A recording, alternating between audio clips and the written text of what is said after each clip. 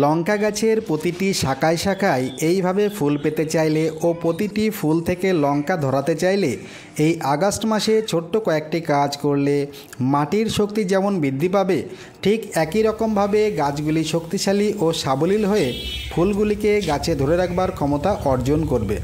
যা থেকে এইভাবে আপনাদের লঙ্কা গাছগুলিতেও লঙ্কা ধরাতে পারবেন। তাই বলব এই ছোট্ট ভিডিওটি মন দিয়ে শেষ পর্যন্ত দেখতে থাকুন। প্রথমেই বলব, লঙ্কা গাছে লঙ্কা পেতে চাইলে টবের গাছের ক্ষেত্রে মাটির আর্দ্রতাকে সঠিকভাবে ধরে রাখা সব থেকে গুরুত্বপূর্ণ। তার জন্য এই বর্ষাকালীন সময়ে প্রতিনিয়ত মিডিয়া চেক করে রাখতে হবে।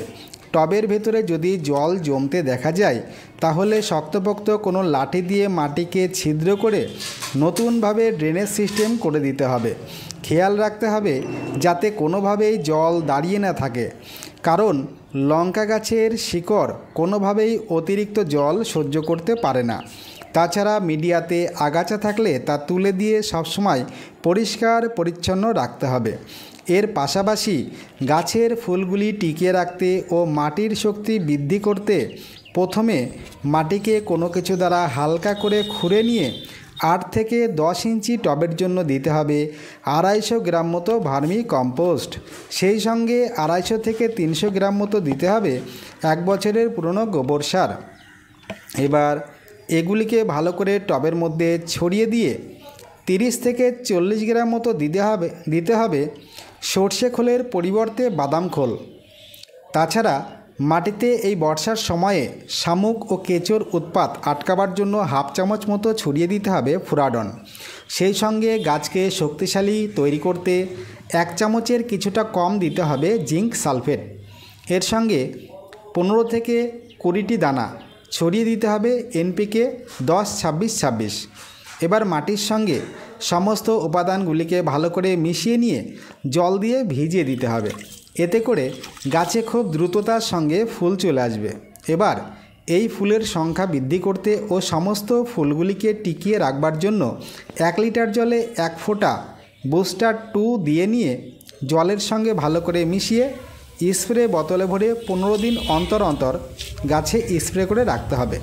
তাহলেই প্রতিটি ফুল থেকে লঙ্কা পাওয়া যাবে।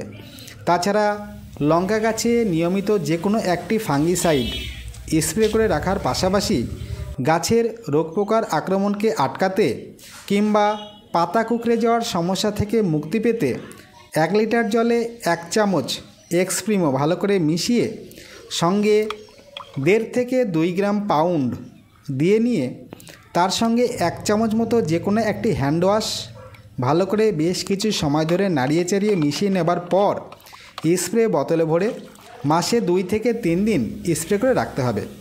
আর গাছের পাতা যদি চুষি পোকার আক্রমণে কুকড়ে যায়, তাহলে দুই দিন গ্যাপ দিয়ে দিয়ে মোট তিন থেকে চারবার পরন্ত বেলায় স্প্রে করে দিতে হবে।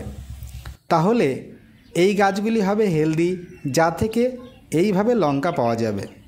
তাছাড়াও আপনারা গাছের ফলন বৃদ্ধি করতে ও পটাশের চাহিদা পূরণ করতে এক লিটার জলে এক থেকে দেড় gram NPK zero zero fifty মিশিয়ে নিয়ে মাসে এক থেকে দুই দিন স্প্রে করে রাখতে পারেন। এছাড়াও গাছের ফুলগুলি যাতে অকালে ঝরে না পড়ে, তার জন্য এক লিটার জলে এক থেকে দেড় গ্রাম বোরন ভালো করে মিশিয়ে নিয়ে মাসে দুই থেকে তিন দিন স্প্রে করে রাখতে পারেন। এই কয়েকটি কাজ ঠিকমতো করে রাখতে পারলেই সেপ্টেম্বর মাস থেকে গাছে প্রচুর পরিমাণে লঙ্কা আসতে শুরু করবে। তাহলে আজ এই পর্যন্তই। পরের কোনো ভিডিওতে আবার দেখা হবে। সকলে ভালো থাকবেন, সুস্থ থাকবেন। কোনো প্রশ্ন থাকলে কমেন্ট বক্সে লিখে জানাবেন। ভালো লাগলে একটি লাইক করবেন। এই রকম ভিডিও আরও পেতে চ্যানেলটিকে সাবস্ক্রাইব করে সঙ্গে থাকবেন। সম্পূর্ণ ভিডিওটি দেখবার জন্য অসংখ্য ধন্যবাদ, নমস্কার।